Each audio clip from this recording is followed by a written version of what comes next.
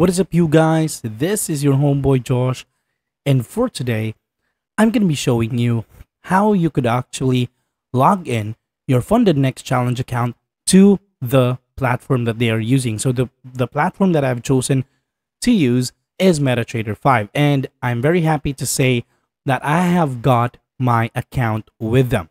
So I'm going to show you the email that I have received and as you can see right here this is a legit email from FundedNext. And I can show you the whole email, of course, because my login credentials are above this section right here. So to start with, you actually need to click on this link and it's gonna be leading you to a website that will require you to download MetaTrader 5 and FundedNext Terminal. So after after you do that, you just basically will have to look at a screen like this. You just have to open MetaTrader 5, then let it install itself, and then you would be shown this one. All right. So I'm going to show it to you just really quick right here. All right. Where is it? I'm trying to look for it. So this one. Okay. So this is what you're going to be presented with.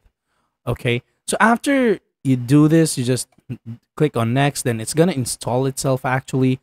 Then after this one installs, it's gonna go directly into my trading platform because I have already logged in.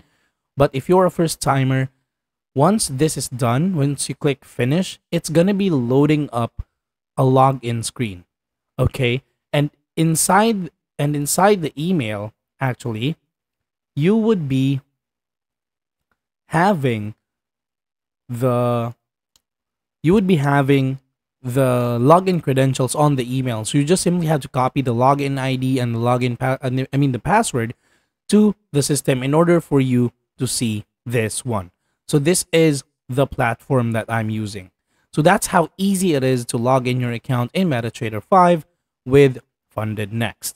So that's all for today's video, guys. And if you want something like this, if you want to try out FundedNext, then we have the link down in the description in order for you to try it out and it comes with a perk because it has a discount for you.